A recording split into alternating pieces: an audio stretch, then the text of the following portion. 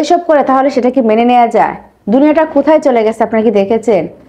তার মেয়ের সাথে সে সংসার করে, তারপরেও তার মায়ের প্রতি অন্যরকম একটা দৃষ্টি গেছে তার। হ্যাঁ দর্শক আপনার স্ক্রিনে একটা ছবি দেখতে পারতেছেন।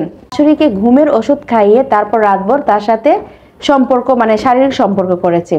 করার পরে এখন এই শাশুড়ি অবশেষে মুখ খুললো এসে। তো যাই হোক, আমি আর বেশি কথা বলব না, আপনাদের কিনে যাব সেই ভিডিওতে।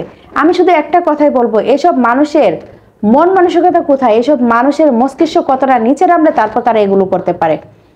যে কিনা যে শাশুড়িকে তারা এগুলো করতে পারে তারা কি মায়ের কাছে যেতে একটু কি আটকাবে তাদের? আমার তো মনে হয় না। হয়তো আমি মায়ের এখানে উচ্চারণটা নিয়েছি হয়তো আপনারা অনেকে রাগ করবেন। কিন্তু আসলে অনেকটা রাগ হয়েছে। এইসব এর কাছে যারা শাশুড়ি মানে না তারা তারা মাকে কীভাবে মানবে? আপনারা কি বলতে পারেন? যাই হোক দর্শক শ্রোতা, আমি আর বেশি কথা বলব না। আপনাদের কিনে যাব। সেই শাশুড়ির মুখ থেকে শুনে আনব। সেটা দিছে আমারে।